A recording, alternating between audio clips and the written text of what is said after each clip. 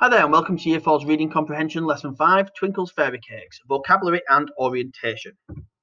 So, this is a text. You can see there's three nice fairy cakes there. I'm going to have a look at this in a bit more detail for you. So, for a magical treat, why not have a go at baking some pretty little fairy cakes? This easy to follow recipe will make 12 tasty cakes. And for the extra sparkle, why not decorate them yourself using chocolate drops, cherries or fresh fruit? Ingredients 90 grams of self raising flour, 90 grams of caster sugar, 90 grams of soft margarine, 2 medium eggs, half a teaspoon of vanilla essence. For the icing, 175 grams of icing sugar, 1.5 tablespoons of warm water.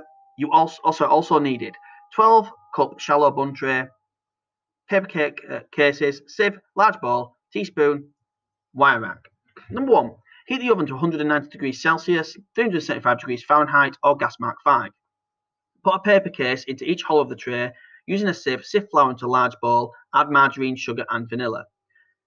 Break the egg, number two, break the eggs into a cup and then add them to the bowl. Stir everything together with a wooden spoon until the mixture is smooth and creamy. Use a teaspoon to spoon the mixture into the paper cases, just over halfway up each case. Warning, until cooked, this mixture contains raw egg, which can upset your stomach. Number four, carefully place a tray into the oven for approximately 15 minutes. Be sure to wear oven gloves or get an adult to help you. Remember, ovens get, can get very hot, so really hot.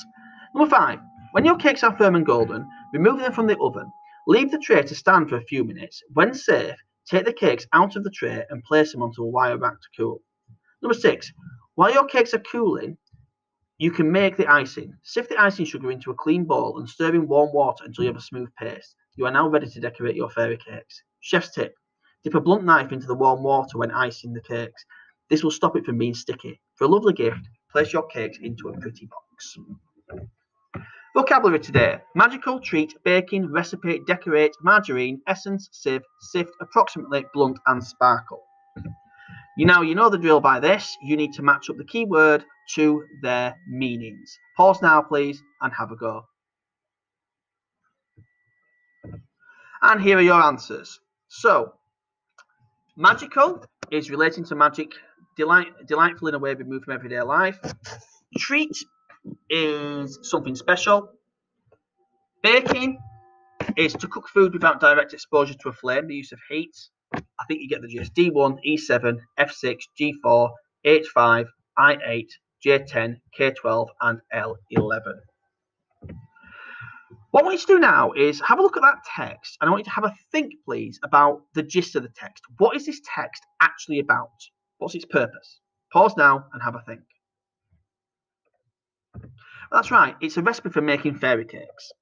So, go back to these question stems who, what, when, where, and why. And remember that who will produce a person's name, what will be an object, a thing, or an event, when will be a time reference, where will be a location or place, and why requires a bit of extra explanation. So, a focus question: Why is a blunt why is a blunt knife dipped into warm water before icing, and how many grams of icing sugar is needed? Pause now and think about your answers. That's right. The first one is to stop it from being sticky, and the second question is 175 grams. So your task today is your orientation sheet, like you'd see normally within class. So, how many cakes will this recipe make? How long do you cook the cakes for? Exactly 15 minutes, around 15 minutes. Find a word that means not cooked. How hot must the oven be? Why is there more than one answer? How long must the tray be left to stand before handling? How does the chef suggest making these cakes into a present? Now, your evaluative or reflective question requires a little bit more thought.